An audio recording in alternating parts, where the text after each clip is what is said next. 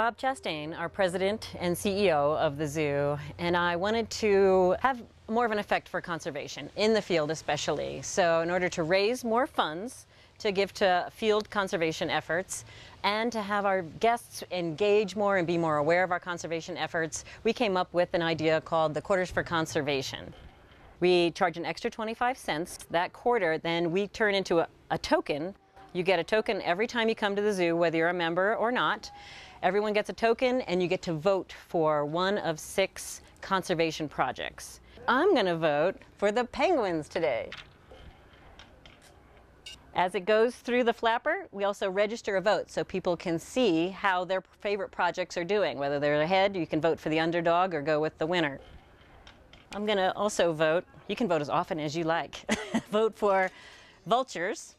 And little kids can vote here. And again, it uh, tallies the vote and the painted CDs will turn. So it's a fun voting device. You don't have to just use tokens, you can also use quarters. So it really generates real funding.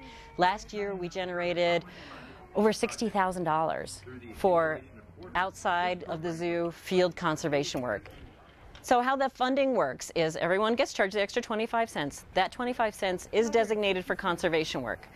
50% of that goes towards these new projects every year. The other 50% goes towards our ongoing conservation efforts, which we have several of them. One big one is our black-footed ferret program. We have been breeding black-footed ferrets and releasing them to the wild since 1990 breeding black-footed ferrets is a full-time job and it's year-round. Even though they only breed once a year, we have to keep tabs on their weight, make sure they're not getting too fat, too thin.